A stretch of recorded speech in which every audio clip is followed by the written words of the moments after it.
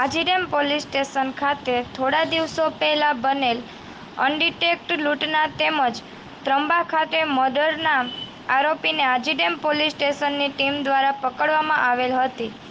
લૂંટની રકમ પાંચ હજારની હતી. તેમજ ક્રાઇમ બ્રાન્ચે ઇબ્રાહીમ ઉર્ફ ઇબ્લો નાસ્તો ફરતો હતો તેને પકડી પાડવામાં આવેલ છે.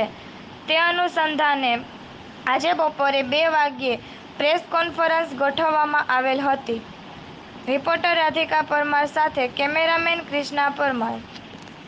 સુડતાલીસ જેટલા સીસીટીવી કેમેરા એ જ રૂટના અલગ અલગ ચેક કર્યા. એમાંથી થોડું ઘણું થોડા માણસો કપડાને એવું દેખાતું હતું, એ આઈડેન્ટિફાઈ થયા. પછી એના આધારે એ લોકોએ બાતમીદારોમાં ધીમે ધીમે પૂછપરછ કરી અને લિંક આપી શોધી.